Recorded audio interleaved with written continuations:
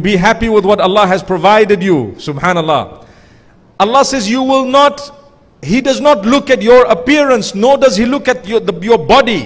What size it is, how big it is, how well built you are. You can go to the gym 24 7 every day. You can have a 12 pack, let alone a 6 pack. Each of those six can be divided into two definitions, mashallah. But that doesn't mean you're close to Allah.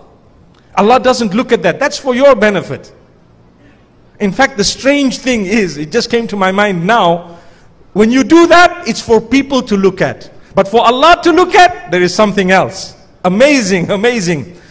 The outward appearance, your makeup, your physique, your body, your size, you're worried about it because of others looking at you. Allah says, hang on, that's for others to look at. For me, that's not what I'm going to look at. I'm going to look at two things, your heart and your deeds. So you better have a good heart and you better have good deeds. Amazing.